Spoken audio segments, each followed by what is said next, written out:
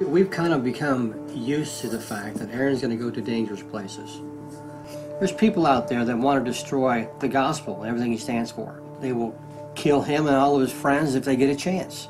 My name is Aaron Taylor. I come from America, and tonight I'm here to tell you about Jesus Christ.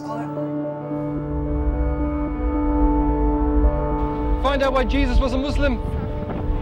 Find out why Christianity is the biggest lie ever to be enforced upon mankind. There is no radical Islam. There is no moderate Islam. There's just Islam.